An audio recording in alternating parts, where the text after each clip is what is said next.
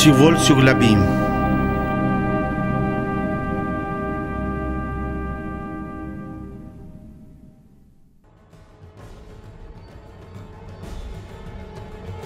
Le parcours du bataillon d'Arabo. 1989-1990 en Arménie, dans la région du Chevron à Ereknatsor, au village de Khachik. 1990-1991 dans la région de Khanlar, Kedachem Mardunachem et dans la région de Noëmpérian à Voskebar. 1991 dans la République de Haute-Garapar, dans la région du Shahomian, Bozlour, Menachit, Erkech. 1992 à Chouchi, au Lachin, Khojalou, Malibeili, Parouk.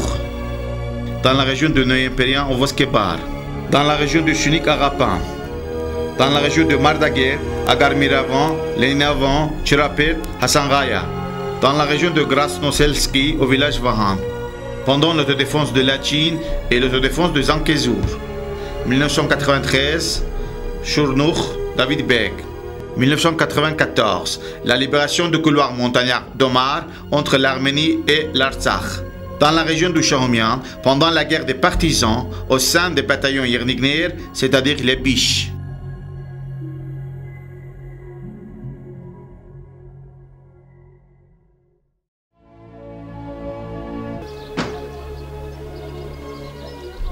Le 25 juin à 10h35. Le bataillon se base dans le village Horatar. Le commandant du bataillon, Manvel Yazarian, unit le groupe de commandos Aramo, Zeytoun, Nigol Touman, Zoravarantranik, Migratsor dans ses instructions sur les prochaines opérations militaires menées.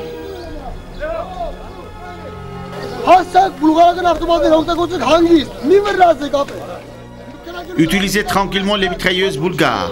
Ne vous pressez pas trop avant de tirer. Réfléchissez bien où vous allez tirer. Économisez les balles. Tirez balle par balle. Il n'y a pas assez de balles dans la patrie.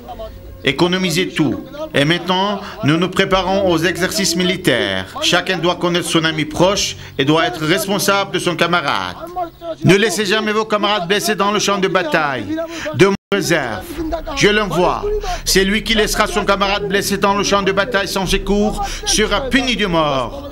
On ne se retire jamais. On n'a pas le droit de se retirer. Ne cédez pas la place à la déportation de notre peuple. Il est l'heure de comprendre. Pas d'endroit pour la déportation. Pas de retraite. Avez-vous des questions?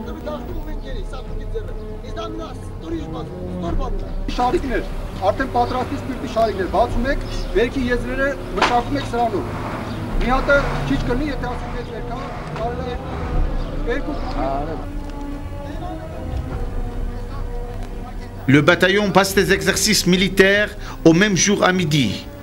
Un groupe constitué de 75 commandos du bataillon d'Arapo attaque et libère le village de Galmiravan, avant quelques heures occupé par les Aziris.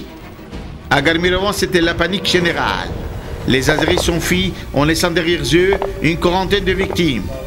Garmiravan a été libéré.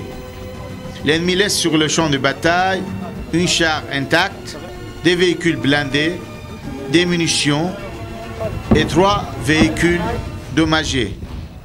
L'opération a élevé le moral de la population et surtout des combattants arméniens fatigués. La réputation et le courage du bataillon d'Arabo s'étaient propagés en toute l'Arménie et au Artsakh.